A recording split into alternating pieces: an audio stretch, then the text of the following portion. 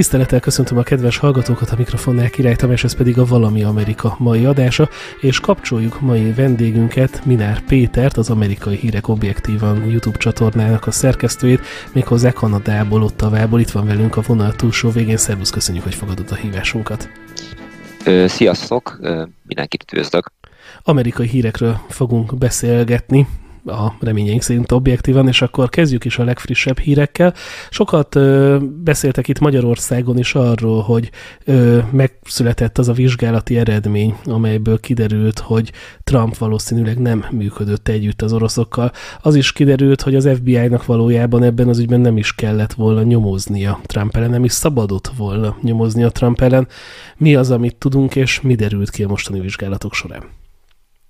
Igen, szóval ezt úgy hívják, hogy Durham Report, mert hogy ö, ezt a reportot egy olyan ember állította össze, akit úgy hívják, hogy John Durham, aki az Egyesült Államok ügyvédje, és még 2019-ben William Barr, a szövetségi főügyész, akkori szövetségi főügyész Trump alatt nevezte ki, hogy vizsgálja ki az FBI Trump kampányával kapcsolatos nyomozását ugye a Trump ellen három évig nyomoztak, nyomták ezt az egészet, most kijött ez a report,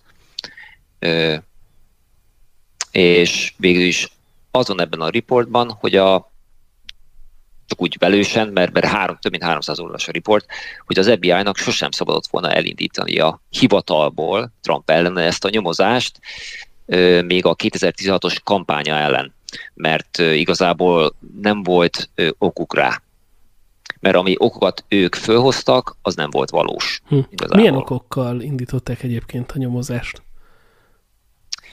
Szóval a, az volt az ok abban, hogy volt egy úgymond dosszié, amit összeállított egy Steel nevű ember, aki azt állította, hogy őnek információ van arról, hogy Trump összedolgozik az oroszokkal, és hogy a a Trump az végül is meg, meg van félemlítve azzal, hogy a Trump még amikor Oroszországba járt, akkor fölvettek egy olyat, hogy valamilyen szexuális kapcsolata volt egy nővel, és hogy miket csinált vele. Az volt benne a legdurvább, hogy állítólag azt akarta, hogy őt lepisíjék. Szóval egy, ilyen volt, és akkor ez volt a nagy, nagy dolog, és hogy általában ezzel az Oroszország a markában tartja Trumpot, és hogy próbálják őt berakni, mint saját emberüket. Hm. Tehát gyakorlatilag Oroszország zsarolja ezzel az információval Trumpot, ez volt a Igen, hogy, hogy igen, hogy zsarolni És ebb, ebből mi igaz ebből az egész sztoriból? Semmi. Abszolút semmi nem igaz. Tehát a Ö... szexuális része sem?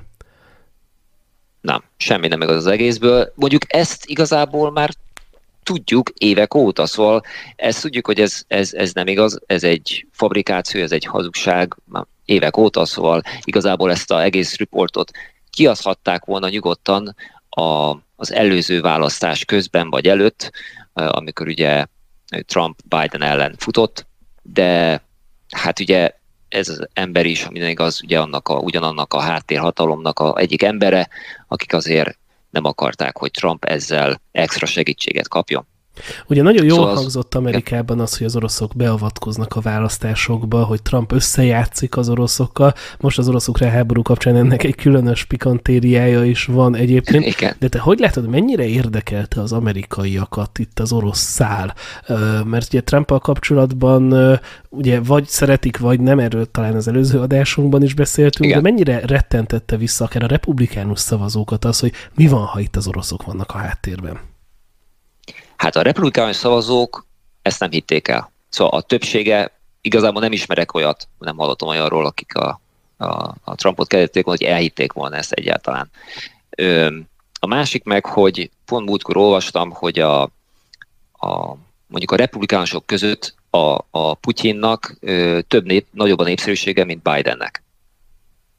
Ö, szóval Tehát a republikánusok jobban szeretik Putyint, mint Biden-t. Ez is azért sok mindent Jobban tisztelik, elárul, igen. Ez is sok mindent elárul a mostani helyzetről.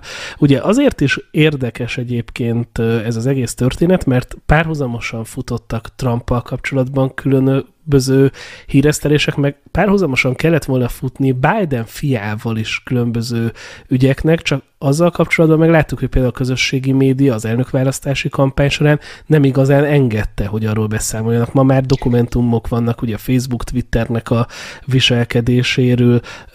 E, hogy látod, tulajdonképpen itt a titkosszolgálatok azok mennyire avatkoztak bele a választásokba? Kérdezem ezt azért, mert pont Elon Musknak, a, meg Zuckerbergnek a beszámolóiból derül az ki, hogy talán még rémlik is van, hogy az FBI megjelent a Facebook székházában, és többek között a Hunter Biden ügyet, mintha megpróbálták volna elkenni.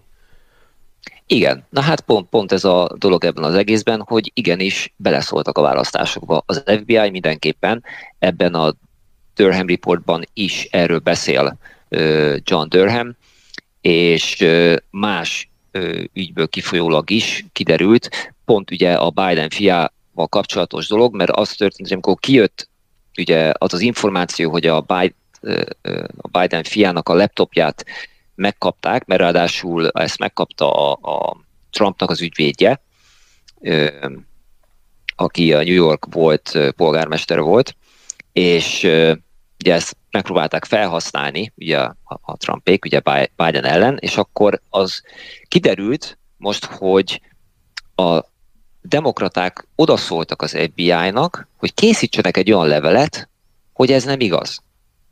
Szóval az FBI csinál, írt egy olyan levelet, vagy egy olyan, olyan ö, ö, hogy is mondjam, nem is levél, de egy ö, riportot, hogy ez nem igazi, ez egy fals hír.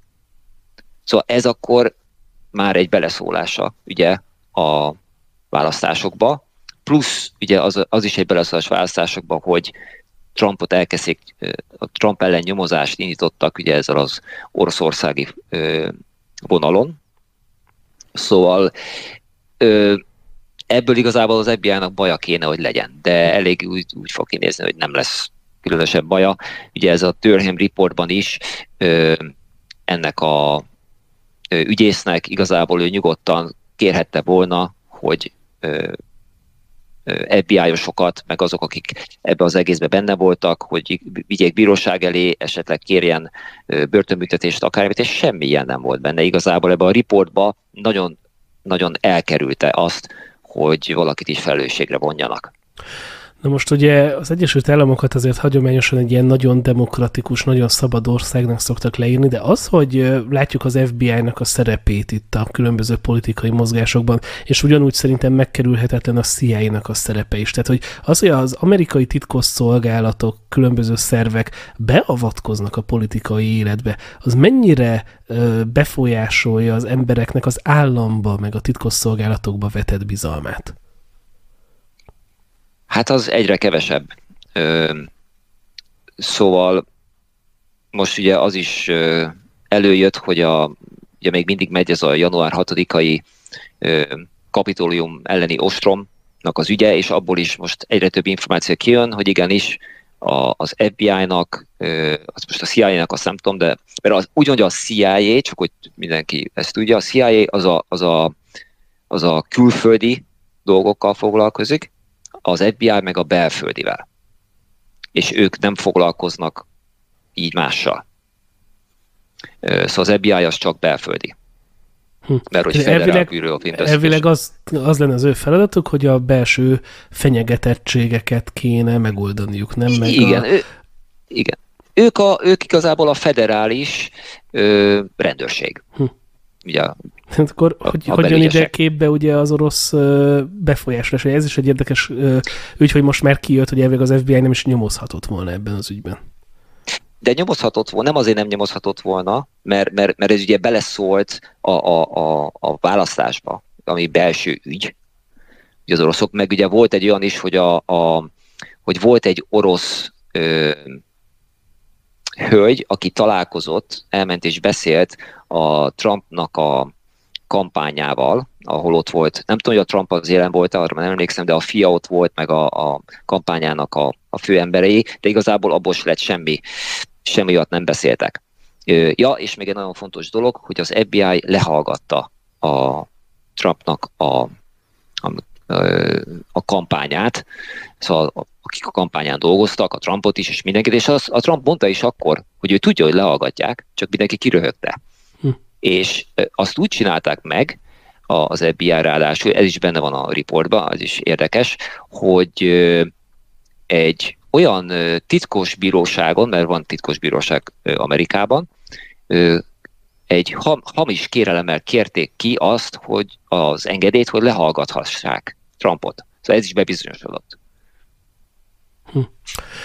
Akkor itt mennénk tovább, mert hogy ugye most, hogy 2020-ban Donald Trump már nem nyerte meg az elnökséget, nagyon sok vita volt azzal kapcsolatban, hogy vajon elcsalták-e a választásokat. Ez szinte valamennyi, valami amerikás műsorban felteszem ezt a kérdést, és egyébként azt is látom, hogy emiatt a YouTube cenzúrázik is minket, ugyanis ha ezt a kérdést feszegetjük, akkor lejjebb csavarják a videóinknak az elérését, de nem baj, én ettől függetlenül megkérdezem, mert hogy most a félidős választások kapcsán ismét szóba került a választási csalásoknak a kérdése. Van Kerry Lake, aki az arizonai kormányzó, és neki van egy választási pere, ami egyébként megkapta az engedélyt, hogy tovább mehessen a bíróságon, és elkezdődhessen a feltárása az ügynek a bíróságon, és hogy sokak szerint ez egy, egy olyan ügy, ami rávilágíthat arra, hogy akkor most voltak-e, vagy vannak-e rendszer szintű választási csalások az Egyesült Államokban. Én arra kérnélek, hogy röviden ismertesd a Kerry Lake ügyet, illetve hogy te ebből milyen következtetéseket vonsz le? Igen, szóval Kari Lake az a, a republikánus jelölt volt, hogy a arizonai kormányzó legyen. Akkor ezt nagyon-nagyon kevés szavazattal elvesztette, és úgy van, hogy ez az egész ügy most a úgymond Maricopa County, ami a Maricopa megye, de ebbe a megyébe lakik azt hiszem a több mint a fele a, az, az, az arizonai államnak. Ott van, a, a, ezben a megyében van a legnagyobb két-három város is, szóval ezért ez a legfontosabb. Szóval az volt, hogy ők sokféle csalást ö, megpróbáltak a, elvinni ugye a törvényszék elé, hogy vizsgálják ki. Ö, ugye volt az, hogy a, a gépek nem jól működtek, a aláírások, hogy nem stimmeltek, mert úgy van, hogy a, amikor a szavazókártyán neked alá kell írni, és a szavazókártyákat átnézik, hogy az aláírás, ami megvan nekik a, a, ugye a rendszerbe, az ugyanolyan-e, mint amit te, ahogyan te aláírtad a szavazókártyát. Ö, és meg voltak még más dolgok is, mindegyéből az egészből igazából most a, a bíróságon azt engedték meg, hogy a aláírással kapcsolatos dolgokat vizsgálják. De itt is lesz egy csavar. Szóval csak így elmondom, hogy ha összehasonlítják az aláírásokat, akkor kiderülni, hogy több a hamis aláírás, mint amennyivel győzött Katie Hobbs, ugye, aki a demokrata kormányzó jelölt, és hm. most ő lett ugye a kormányzó. Ráadásul amikor volt a választás, a Katie Hobbs, akkor ő olyan pozícióban volt, hogy ő volt a, ő felügyelte a választásokat.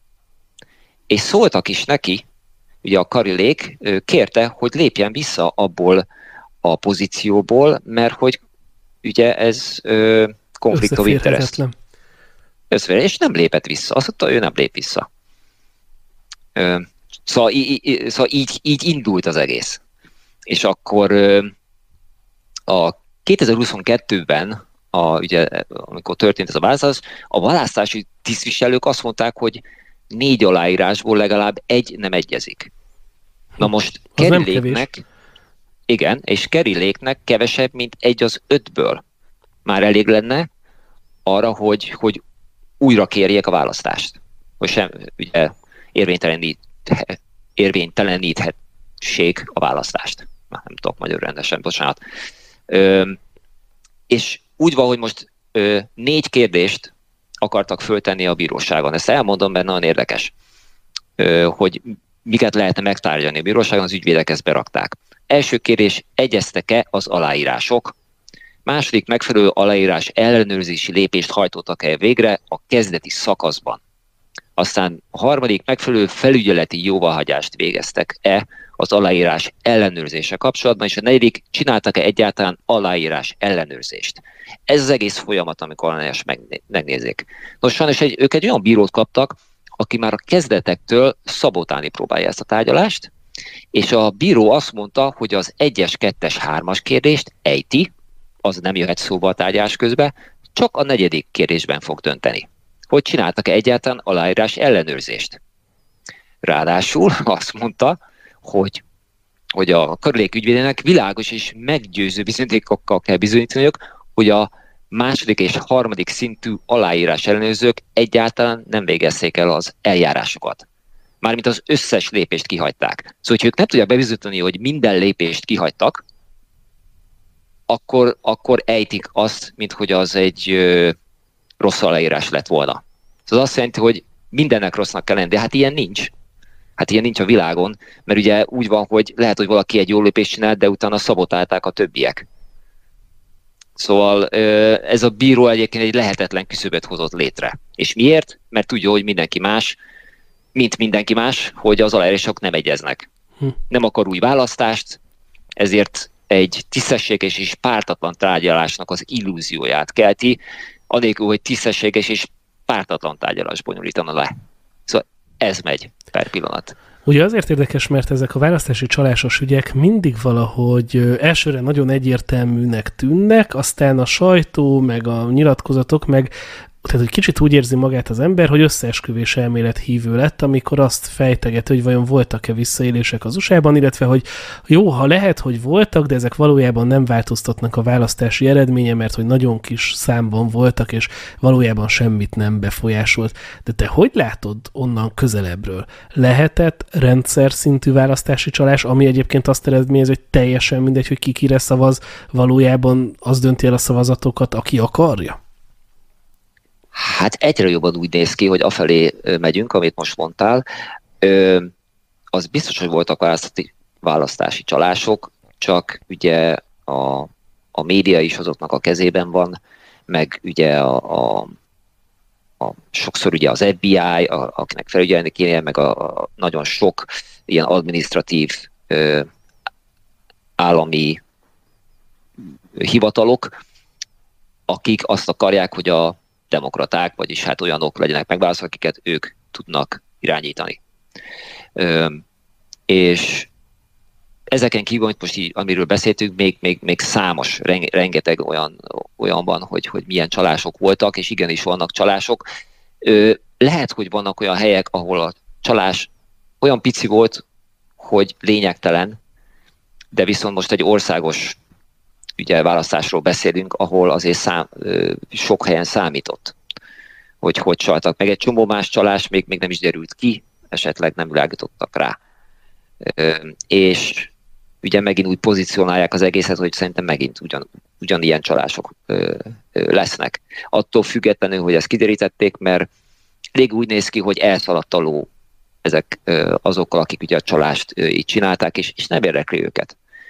Ugye egyre jobban látjuk, hogy nyíltan kijelentik, ugye Amerikában is, Európában is, mindenhol az úgymond háttérhatalom, amit akar, amit meg akar. Mondjuk a, ugye a World Economic Forum, a BEF is nyíltan mindent megmond, hogy mit tervez, hogy majd mit, mit akarnak velünk csinálni, mi, milyen lesz majd az életünk.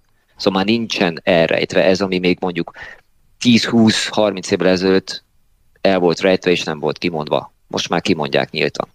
Csak egy kicsit el kell gondolkozni azon, amiket hallunk. Hm. Nagyon érdekes, hogy ezt ti onnan arról a kontinensről is így látjátok, mert ugye korábban, mintha Amerikának lett volna egy önálló ilyen befolyása, birodalmi ö, hatalma, és azért ez szerintem még mindig megvan, de sokan azt mondják, hogy Amerika már elvesztette a nemzeti irányítását, és valójában itt is a globális ö, hálózatok, vagy akár a háttérhatalmak, ugye, akik így bátrabban mernek beszélni, hogy ők irányítják Amerikát. Tehát ugye, tehát most Kanadában élsz, de éltél az Egyesült Államokban is. Te tudsz olyan konkrét ügyeket, gyakorlati dolgokat mondani, amiből látszik az, hogy akár már az amerikai politika sem ura önmagának? Hát igen, ugye ez most ha nézzük mondjuk kanadai példát, hogy Trudeau ö, ö, olyan törvényeket hoz be, mostanában, ami teljesen a World Economic Forum féle irányvonal. Ugye most hozott be, erről van egy videó, most raktam fel nemrég, a, hogyan fogják cenzúrázni most a online, mondjuk a YouTube-ot, egy olyan műsorokat, mint amit most mi csinálunk, ez most csak Kanadán belül. Akkor És ugye hogyan Amerikában fogják csak, ugye... hogy felkészüljek én is a jövőre?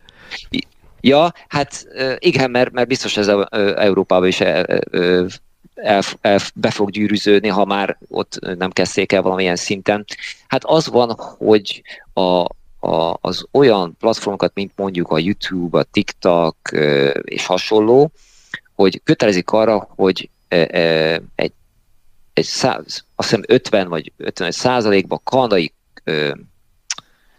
content, vagy egy kanadai dolgok legyenek benne, amit kanadaiak csinálnak, kanadai pénzből, kanadai Kanadában helyileg. Mert ugye per pillanat már eleve ez volt a tévé és rádió adókra. Ez volt a törvény itt Kanadában. Most ezt kiterjesztik itt teljesen a online-ra.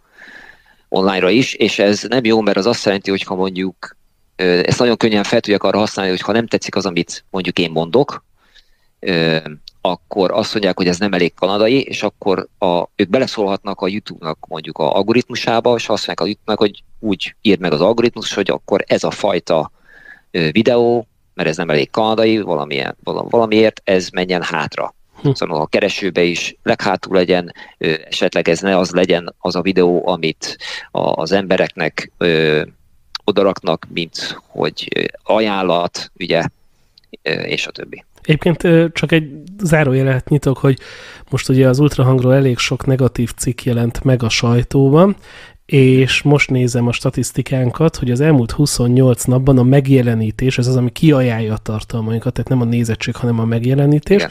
az 32%-kal csökkent az előző 28 napihoz képest. Ezzel párhuzamosan a nézettségünk egyébként egy nagyon kicsivel csökkent, csak egy ilyen 8-10 százalékkal, mert nyilván kevesebb embernek ajánlja ki a tartalmat, de ebből azt tapasztalom, hogy nagyon sokan, meg láttam is a statisztikáinkból, hogy nagyon sokan ránk keresnek, és jobb esetben megtalálnak minket, meg értesítést is kapnak, de hogy azért itt is például, amikor megjelentek cikkek, akkor láttam ott a kommentek között, hogy jelentsük ezeket a tartalmakat, hogy gyűlöletkeltő tartalmak, és hát, hogy sokan jelentették, meg például láttunk olyat, hogy csoportok is, tehát ilyen belső csoportok, csoportokban is utasítást kaptak, hogy jelentsenek, és hogy 32%-kal kevesebb szer ajánlja ki például a YouTube algoritmus most az embereknek a tartalmainkat. Nyilván tudunk ezzel együtt élni, meg látjuk, hogy azért a mi hallgatóink nagyon elkötelezettek, és már ö, tudják, hogy ilyenkor rá kell keresni a tartalmainkra, csak azért nagyon vicces, hogy hogy bele lehet nyúlni az algoritmusba. Igen, mondjuk, és ez, ez csak a YouTube. Erre még rátesz egy lapáttal itt Kanadában az állam. Hm. Szóval amit az államos csinált, ez, ez még a YouTube-nak is túl sok volt, és ők ez ellen a új törvény ellen fölléptek. Mondták, hogy nem, nem szeretnék, hogy ez így, ilyen formában legyen, mert, mert nekik ö, nem éri meg így, így, így ö, ugye üzletileg is nem jó ez az egész. Szóval az, az egyik, ö, ö, hogy is mondjam, cenzúra másik, másikra ugye rászólt, hogy igen. cenzúráz annyira. Hát igen, ez is egy izgalmas dolog, amikor a, az állam is cenzúrázik, a YouTube is, a kettő mondjuk találkozik is, mert nyilván az állam meg adókedvezményekkel, meg mindennel bele tud szólni a YouTube működésébe. A YouTube az algoritmussal azt tudja mondani, hogy a te politikai üzenetedet jobban el tudom juttatni, na és hogyha ezek egymásra találnak, akkor van az, hogy szegény alkotók ugyanúgy dolgoznak, mint korábban, aztán azt veszik észre, hogy jóval kevesebb az elérésük. Igen, igen, pontosan, pontosan ez, a, ez az a probléma, amit nagyon sok felhasználó felhozott itt Kanadában, hogy akkor most, most mi is lesz. Na és akkor gondolhatnánk azt, hogy bezzeg ott van a Twitter, amit felvásárolt Elon Musk, és majd az lesz a szabadságnak a földje. Aztán ugye néhány nappal ezelőtt Elon Musk lemondott a Twitter vezérigazgatói pozíciójáról, és egy új főnöke lett a Twitternek, akinek egyébként állítólag kötődése van a világgazdasági fórum munka jövőjével foglalkozó munkacsoportjához, valamint tagja a világgazdasági fórum média szórakoztatás és kultúra ágazat kormányzóinak irányító bizottságának is hogy, hogy őt választotta Elon Musk a Twitter vezetésére? Ez egy nagyon jó kérdés, mindenki ezt kérdezi, minden oldalról. Szóval azok is ezt kérdezik, akik szeretik a maszkot, akik nem. Szóval most ez egy nagyon nagy téma, ráadásul míg ezeken a helyeken dolgozott ez a nő, akit úgy hívnak, hogy Linda Jacarino, egyébként olasz származású, mármint hogy a szülei olaszok voltak, ő már Amerikába született, lehet, hogy a szülei is. Ő hangosan támogatta az oltási erőfeszítéseket, és számos neoliberális ilyen vók ügyeket is, mármint nem mint privát, hanem mint, mint mint az NBC Entertainmentnél, ahogy, ahogy igen, intézményeken keresztül. Egyébként ő egy marketing és reklám specialista, szóval ő a telekommunikációból végzett, abból van diplomája, és ő az egyik, ő az egyik legjobb ebben per pillanat. Szóval egy nagyon jó abban, amit ő csinál. Szóval könnyen lehet, ugye az az egyik dolog, hogy azért vette fel Musk ezt a nőt, csak azért, hogy, hogy ö, beindítsa ugye a, a, azt, hogy a, a cégek reklámozzanak megint csak a Twitternél, hogy minél több cég, szóval hozzon be pénzt ugye a cégbe, mert a Twitter a, megvette 41 néhány millióért, ö, bocsánat, millióért, billióért, vagy hát milliárdért ö, Elon Musk, és abból mára elvesztett 20-at. Szóval majdnem a felét körülbelül elvesztette az értékének, és ez azért még neki is fáj, meg hát voltak befektetők, akiket ő hozott, gondolom azok sem ö, túl boldogak. Szóval lehet, hogy csak ezért rosszabb, viszont lehet az is, hogy ez a nő elhitette vele, hogy ő csak ezt csinálja, és egyébként ő, ő majd egy ilyen beépített ö, embere a Bőrökamodik Fórumnak, és a, a szélső ugye baloldalnak, ennek a vók ideológiának, és majd tönkreteszi a, a Twittert belülről. Ezt nem nagyon hiszem, mert ez a nő ő egy nagy, nagyon karrierista. És a karrierista, akkor ha tönkretesz egy céget, akkor már egy másik cég miért, miért bérelné őt föl, hogy jöjjön hozzá dolgozni. Már azt azt mondja, hogy úristen, hát tönkretette egy nagy, nagy komoly céget akkor. Szóval e, ezt nem annyira hiszem. A másik dolog meg ugye, amit egyébként erről is van videóm, erről készítettem egyet, az lehet, hogy ez a nő igazából nem szélső baloldalos, nem bók, hanem inkább konzervatív beállítottságú. És ezt azért mondom, mert ha megnézzük a, az ő Twitter lájkjait, amiket ő lájkolt, ő éve, évekre visszamenőleg is, ő olyanokat lájkolt, ami pont az ellenkezője. Szóval olyanokat lájkolt, hogy mit én, bibliai ilyen idézetek, meg ő is föltett ilyeneket, akkor pont az a ugye a WEF-nek a ideológiai elleni posztokat lájkolt, és a többi. Szóval könnyen lehet, mert Amerikában rengeteg úgy szúgyek, hogy, hogy closet conservative, mármint hogy ők azt mutatják, mert a munkájuk miatt, hogy, hogy, me, hogy a karrierjük miatt azt mutatják, hogy ők neoliberálisak, hogy ők ilyen woke, meg hogy szeretik a ezt a sok új hülyeséget, de közben, amikor mondjuk szavazáson elmegy, és ő a Trumpra fog szavazni, hm. meg ő konzervatívan gondolkodik, Hát meg ugye a világgazdasági ezt... fórumot se lehet talán vegytisztán azt mondani, hogy ez csak vók, meg csak ilyen, meg csak olyan, mert nagyon sokan kötődnek igen. oda. Tehát nagyon érdekes hálózat ez. Igen, igen, igen, nagyon sokan kötődnek, ez hát ez minden elismerésem a, ugye a WEF-nek a vezetőségére, hogy, hogy ők mindenkit be tudnak szervezni valamilyen ö, ugye kifolyólag, hát ha megnézzük ugye a magyarországi politikusokat is, mindkét oldalról voltak, a, a mindegyik a WEF-nél tanult valamit. Igen. És ugye ezzel párhuzamosan azt is látjuk, hogy Elon Musknak a megítélése sem tiszta. Ugye egyrészt nagyon sokan szeretik az ő extravagáns, libertariánus gondolatvilágát, másrésztről meg azért neki is bőven vannak olyan fejlesztései, amik inkább mintha a totális kontroll irányába vinnék a társadalmat. Te hogy látod Elon Musknak a szerepét?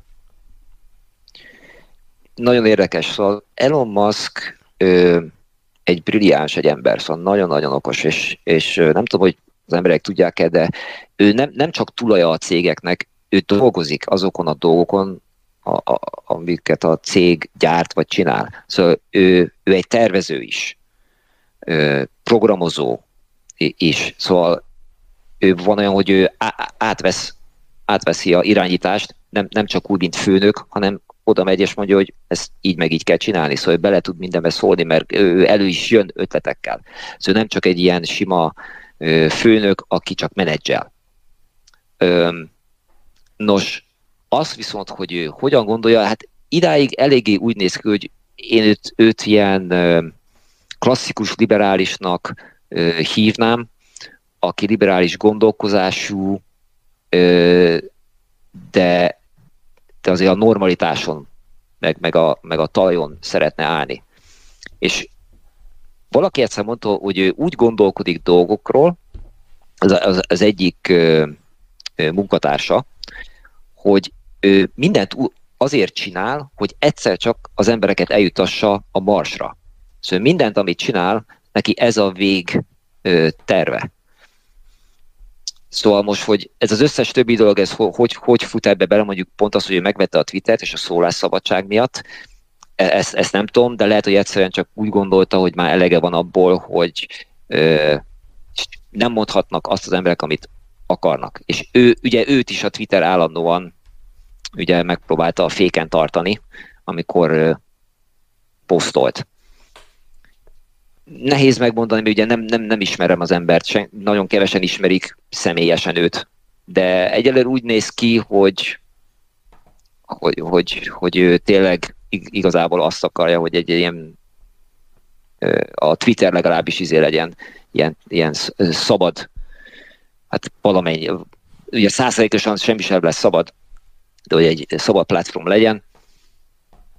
De hát meglátjuk, mert ugye most, hogy fölvette ezt a nőt, még az is lehet, hogy azért vette föl, mert rájött, hogy nem tudja szabadá tenni, mert akkor túl sok pénzt veszít el, ezért behozott egy ilyen nőt. Ez a kérdés, hogy a pénz a fontosabb, vagy a szabadság? Szerintem ez egy nagyon fontos kérdés. Hát, ha azt nézzük, hogy a felét elveszette a pénzének, és és uh, szóval nem tört össze tőle, akkor, akkor mondhatjuk azt, hogy uh, ő egyébként elég úgy néz ki, hogy olyan ember, akit nem érdekel a pénz őt csak annyira érdekli a pénz, hogy abból akkor egy másik céget csinálja, amivel akkor megint csak közelebb jut ahhoz a álomhoz, hogy a Marsra jutassa az embereket. Szóval ő, ő, neki, ő, ő, neki állítólag nincsen háza, nincsen lakása, ami a sajátja, amit vett volna magának. Szóval ő nem költi a pénzt. Ráadásul annyi minden cége van, ő egyfolyt, egész nap dolgozik. Hm. Ö, ugye ezzel párhuzamosan azt is halljuk, hogy Tucker Carlson, aki a Fox news a szerződést bontott, vagy a Fox News bontott vele szerződést, ugye ez egy bonyolultabb kérdés kicsit, a Twitteren folytatja a műsorait. Igen. Ezzel kapcsolatban milyen a hangulatot, illetve mennyire értik meg Tucker Carlsonnak ezt a lépését, illetve vajon a Twitter és a különböző streaming platformok ki tudják-e váltani a hagyományos televíziózást? Hát a hagyományos televíziós már folyamatban van annak a kiváltása. Te például nézel tévét? Twitter. Soha. Én, én, én jó, mondjuk én abban különleges vagyok, hogy én nekem mióta ugye kiköltöztem szüleitől, nekem nincsen tévécsatornám, sose volt bekötve. Semmilyen lakásomban, vagy izé. sose volt. Mindig is interneten volt bekötve, és ennyi kész. Szóval visszatérve, hogy mennyire néznek még egyáltalán tévét az amerikaiak? Megint csak attól függ, hogy melyik, milyen korban vannak, vagyis hát, hogyha hogy hány évesek ugye azok az emberek, akiket nézünk. Szóval ugye minél öregebb, annál jobban nézik általában a tévét. A fiatalok szerintem, én nem is tudom, milyen fiatal nézi a tévét, mert állandóan a mobil telefonjukat nyomkodják, és azon nem a tévét nézik, hanem inkább ezeket a streaming csatornákat nézik, a Netflix, Apple, Amazon videó, e, e, ezeket a sorozatokat nézik, ja, filmeket, meg, meg mindenki állandóan a Twitteren, meg a Facebookon, e, ezeken vannak egész állandóan. Szóval kezd, hát kezdnek tönkre menni egyébként ezek a TV, rádió csatornák el, eléggé sok. Ugye ha megnézzük a, a Amerikában a nagy média csatornákat, hát azoknak is, ha megnézzük mondjuk Joe Rogannek a, a ugye ő most már nem a Youtube-on van, hanem átment a Rumble-re, nem? Ram, nem a Rumble-ra ment rá, hanem a Spotify-ra. Ja. És az ő nézettsége az annyi, mint az összes ilyen nagy médiás tévének az össznézettsége. Hm. Sőt, annál több. Egyszerűen hallgatják podcastként, és akkor... Igen, igen, igen podcastként hallgatják. Igen. Steven Crowder ment egyébként minden. a Rambőre, közben rájöttem. Igen, igen. Hát most sokan úgy gondolják, hogy Rumble igazából az az, az, az a cég, ahol a legnagyobb szabadság van, és hogy a Rumble az úgy elég úgy néz ki, hogy ez tartja is ezt a vonalat. Azt hiszem, hogy talán nem tudom melyik országban, és Kína volt, vagy Törökország, ahol rászóltak a Rambóra, hogy kezdjen cenzúrázni dolgokat, és akkor a Rambó egyszerűen, egyszerűen azt mondta, hogy nem, és kivonult abból az országból. Twitter viszont ezt nem csinálta. A Twitter az most nem tudom, hogy maszk alatt, ja, maszk alatt most azt hiszem, hogy a, a, a török, Törökországba is rászóltak ugye a választások miatt, hogy cenzúrázza a dolgokat, és azt én úgy hallottam, hogy a Twitter az cenzúrázott is dolgokat.